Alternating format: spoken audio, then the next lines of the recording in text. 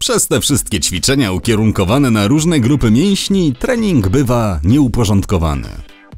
Niewiele osób wie, że jeśli chce się rozwinąć mięśnie całego ciała, wystarczy znać tylko trzy ćwiczenia i prawidłowo je wykonywać. Numer 1. Ćwiczenia z kółkiem Abwheel. Kółko do ćwiczeń Abwheel jest świetne, ponieważ pomaga wzmocnić wiele różnych mięśni. Podczas wykonywania takich ćwiczeń pracuje ponad 20 z nich. Trening ten rozwija mięśnie brzucha, zginacze biodra, mięśnie skośne, a także mięśnie dolnych i górnych partii pleców, barków oraz ramion. Ćwiczenie to jest również znacznie bardziej skuteczne niż stare, poczciwe brzuszki, bo generuje większą aktywność mięśni skośnych i brzucha. Kółko Abwheel przede wszystkim jednak znakomicie rozwija zmysł równowagi. Wzmocnienie mięśni brzucha łączy się ze stabilnością ogólną.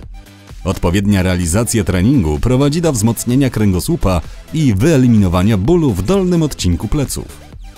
Warto pamiętać, że należy wykonywać to ćwiczenie prawidłowo. Uklęknij na podłodze i upewnij się, że masz przed sobą wystarczająco dużo przestrzeni. Chwyć kółko w obie dłonie i przenieś na nie ciężar ciała. Możesz skrzyżować nogi na wysokości kostek i unieść je nad podłogę lub matę treningową. Dzięki temu ćwiczenie będzie bardziej wymagające, a także zapewni stabilność. Napnij mięśnie posturalne, ściągnij pośladki i zacznij jechać na kółku przed siebie. Jednym z najważniejszych elementów w tym ćwiczeniu jest utrzymanie prostych pleców podczas całego ruchu. Kółko odsuń najdalej jak się da, nie zginając przy tym pleców w dolnym odcinku. Wytrzymaj kilka sekund w tej pozycji. Im dłużej ją utrzymasz, tym więcej pracy twoje mięśnie wykonają. Zacznij powrót do pozycji wyjściowej. Napnij mięśnie brzucha i mięśnie posturalne, aby łatwiej było przyciągnąć kółko do kolan. Jeśli dobrze radzisz sobie z tym ćwiczeniem, możesz spróbować trudniejszej wersji. Tym celu oprzyj wyprostowane nogi o podłogę i wykonaj tę próbę z pozycji wyjściowej.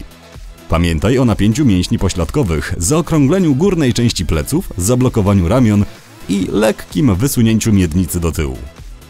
Unikaj najczęstszych błędów zdarzających się przy tym ćwiczeniu. Pupa nie powinna opadać w kierunku podłoża. Plecy, od głowy do kości ogonowej, muszą pozostać jak najmocniej wyprostowane. Jedź na kółku powoli i jednostajnie. Ramiona powinny być wyprostowane i ustawione równo, żeby kółko nie spłatało figla. Numer 2. Skoki. Mamy dwa rodzaje skoków: z przysiadem i w dal. Oba warianty bardzo dobrze wpływają na rozwój dolnych części ciała, szczególnie mięśni nóg i bioder. W trakcie wykonywania tych ćwiczeń używamy również ramion, ponieważ podczas wyskoku wykonujemy zamach. Korzystamy z nich także, aby zredukować prędkość przed opadnięciem na podłoże. Skoki mają też wpływ na układ nerwowy, wzmacniają organizm, poprawiają wytrzymałość oraz ogólne umiejętności atletyczne. Skoki z przysiadem. Najwyższy wyskok z przysiadem uda się osiągnąć wybijając się z obu stóp. Dzięki temu siła nóg dosłownie odepchnie cię od podłogi. Zegnij nogi w kolanach, jakbyś siedział na niewidzialnym krześle. Ustaw stopy na szerokości ramion, a kolana zegnij pod kątem 60 stopni. Taka pozycja zapewni największą siłę podczas wyskoku, a przy tym nie uszkodzi kolan. Tuż przed próbą kolana muszą być ustawione na równi z palcami u nóg. Trakcie skoku plecy powinny być idealnie proste. Tylko wtedy uchronisz je przed kontuzją. Jeszcze ważniejszy jest prawidłowy powrót na podłoże. Należy opadać na śródstopie, a dopiero później stawiać pięty. Lądowanie na płaskie stopy może skończyć się skręceniem kostki. Przed samym opadnięciem należy również delikatnie ugiąć nogi w kolanach. Uderzenie zostanie zamortyzowane i nie uszkodzi kolan. Skoki w dal. Podczas wyskoku w górę używa się obu nóg. Przed wykonaniem skoku w dal dobrze jest sprawdzić, która stopa jest silniejsza i z niej się wybijać. Aby uniknąć kontuzji, najlepszym miejscem na tego typu skoki jest piaskownica. Po odbiciu się od podłoża wypchnij biodra do przodu, maksymalnie jak się da. Dzięki temu polecisz dalej.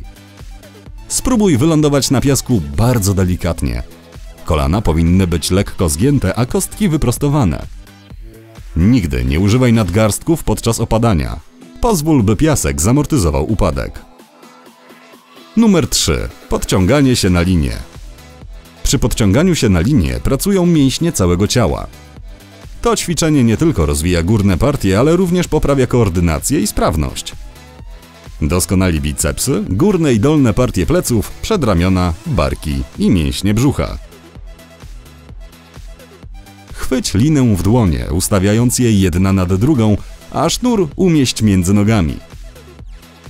Zacznij podciągać się do góry, zginając ramiona w łokciach.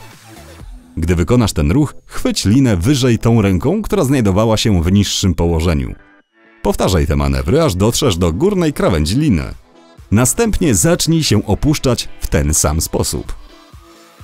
Jeśli podciąganie na samych rękach jest dla Ciebie za trudne, możesz pomóc sobie nogami. Gdy dopiero zaczynasz przygodę z taką wspinaczką, poproś kogoś, żeby obserwował Cię podczas tego ćwiczenia. Na początku możesz też podciągać się partiami, jedynie do połowy długości liny. Pamiętaj też, aby na wszelki wypadek położyć kilka mat na podłodze. Jeżeli zamierzasz mieć silne, pięknie wyrzeźbione mięśnie, potrzebujesz nie tylko ćwiczeń fizycznych. Oprócz regularnego treningu powinieneś również przestrzegać kilku innych zaleceń. Jedz regularnie i zmodyfikuj dietę. Żeby zbudować masę mięśniową należy jeść 4-5 razy dziennie. Między posiłkami powinny następować 2-3 godzinne przerwy. Dzięki temu ciało cały czas będzie miało energię, by budować mięśnie. Spożyj coś co najmniej 2 godziny przed treningiem. Może to być pełny posiłek lub zdrowa przekąska, ale ważne jest, aby organizm miał wystarczająco dużo czasu, żeby je strawić. Później wykorzysta te kalorie podczas ćwiczeń. Po skończonym treningu zjedz wysokobiałkową przekąskę lub posiłek o dużej zawartości białka.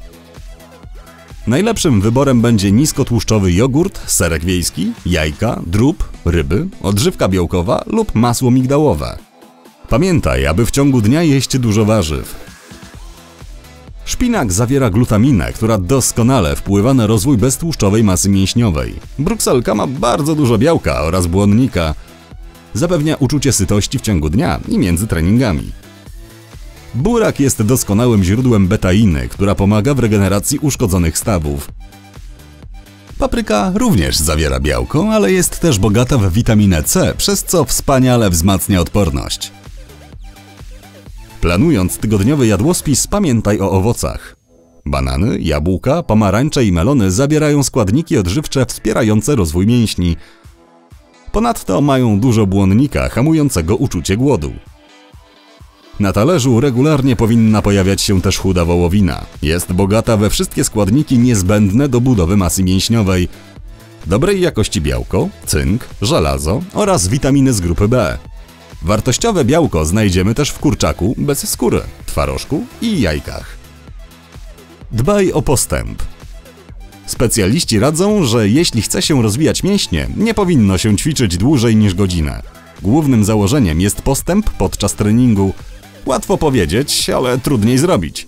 Ludzie często zwiększają długość sesji ćwiczeń, zamiast skupić się na intensywności treningu.